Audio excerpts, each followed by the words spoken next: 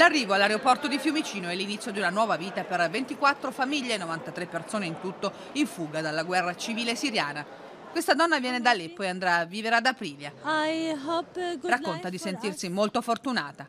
Dopo aver lasciato i loro paesi, vivevano nella miseria di un campo profughi vicino a Beirut, innottata la partenza per l'Italia.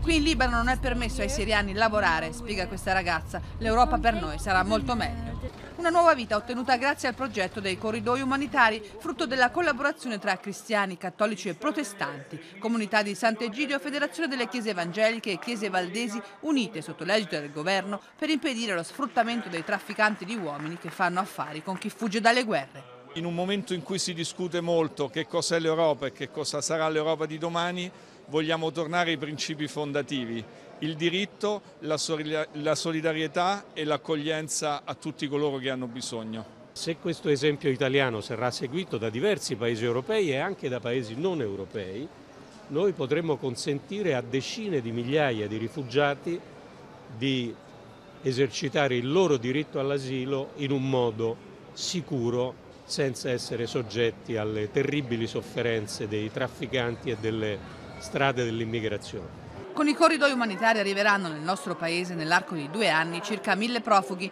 non solo dal Libano ma anche dal Marocco e dall'Etiopia.